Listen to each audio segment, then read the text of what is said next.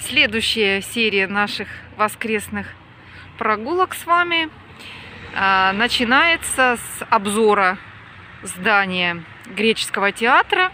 И направляемся мы в греческие сады. Вот туда. А, смотрите предыдущие видео, э, где я рассказываю о фуникулере. Многие спрашивают, так что это видео по запросу фуникулере Монджуик.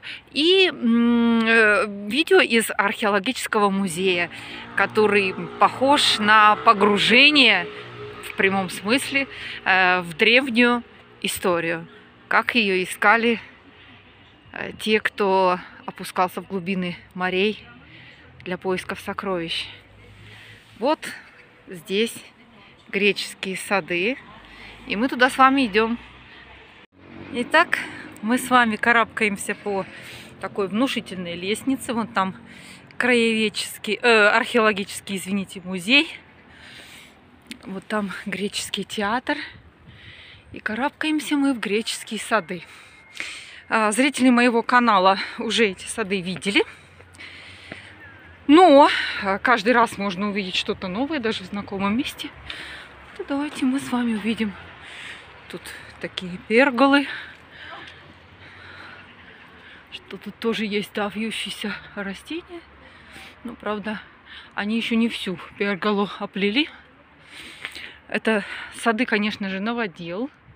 Ну, давайте вскарабкаемся до конца и рассмотрим все по порядку. Итак, если пойти в противоположную сторону от перголы, можно попасть в следующую перголу, которая гуще заплетена вьющимися растениями. Но сейчас зима, поэтому, сами понимаете, с листьями, а тем более с цветами напряженка. Даже в Средиземноморье, хотя встречаются. И вот здесь можно быстрее попасть в сад различные павильоны в духе, так сказать, соответствующие стилю.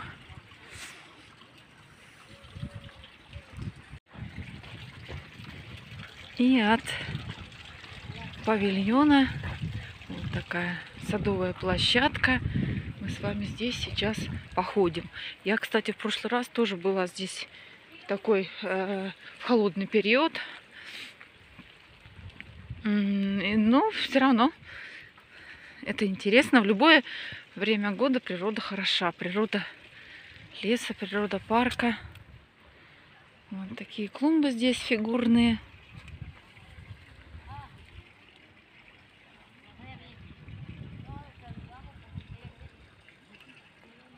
Из сада открывается вид.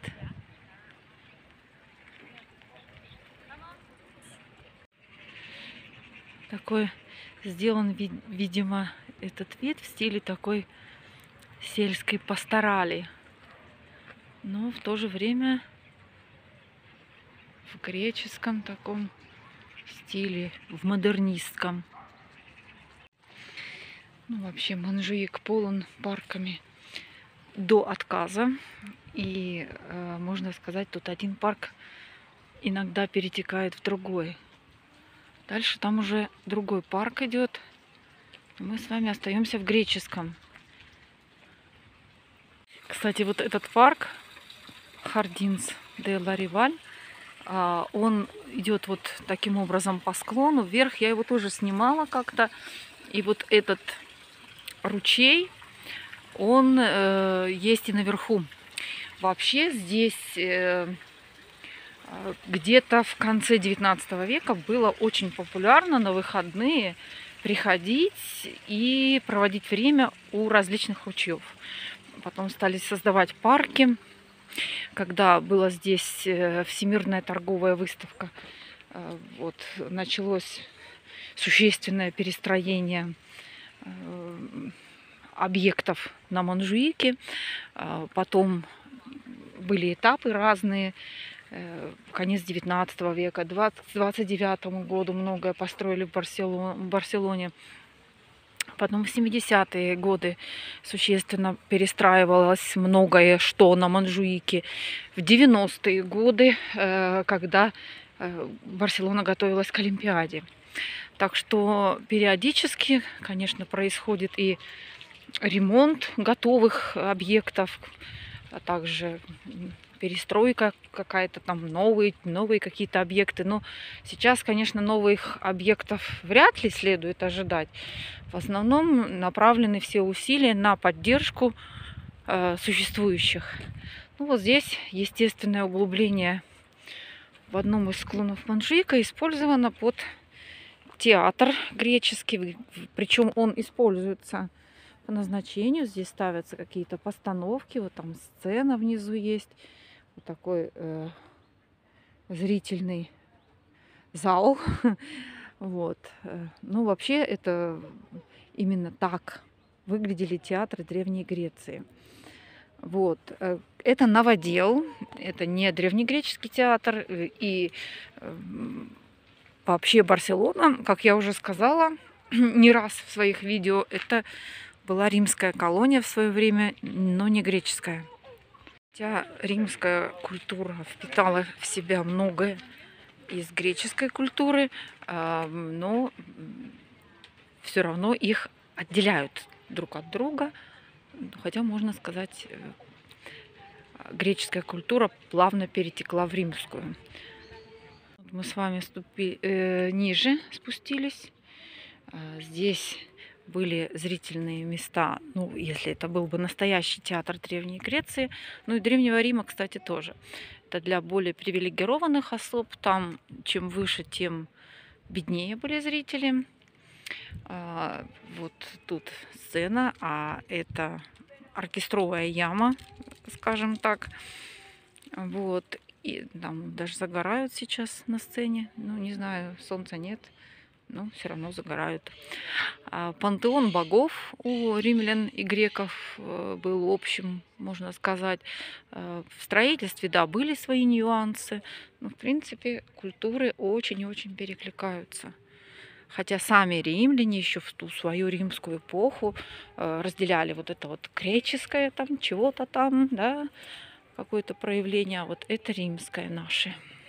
Вот так как-то. Зрительные зрительные места для привилегированных особ, чтобы им лучше всех все было слышно и видно. Э, актеры на постановках выходили вот из боковых э, частей э, сцены, там занавеси были специальные. Ну вот здесь вот с одной стороны вход. Могло бы быть два входа с обеих сторон.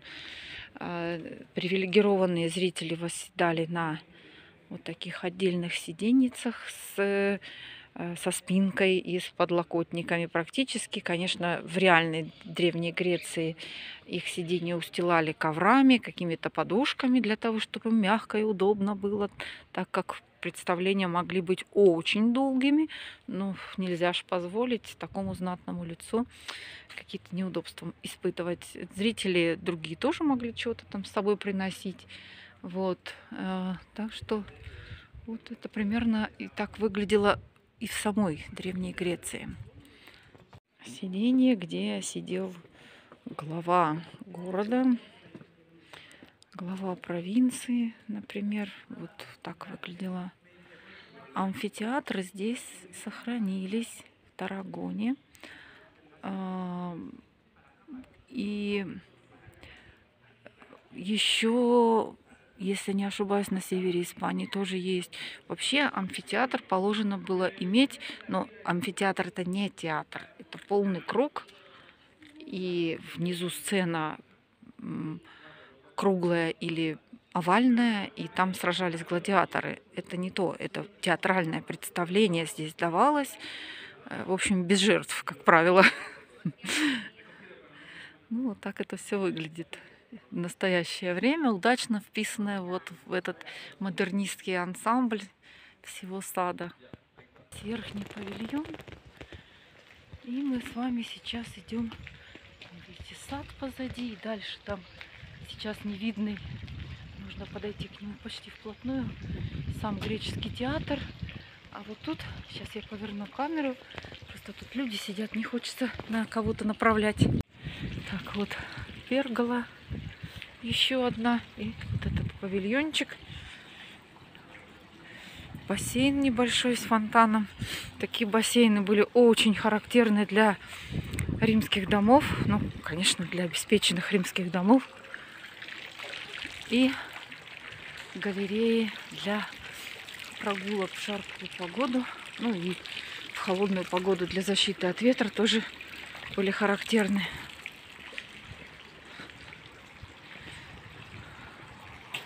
И панорама, открывающаяся из греческого сада.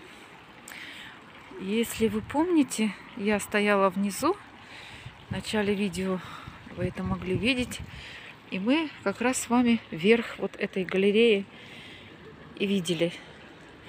Вот где машины едут. Оттуда я начала съемку. Выйдя из музея, пришла сюда. Так что вскарабкайтесь сюда, не пожалеете. Здесь красиво, много фоточек можете хороших, красивых сделать. А вот такой греческий сад на Монжуике. Спасибо за внимание. Всем пока!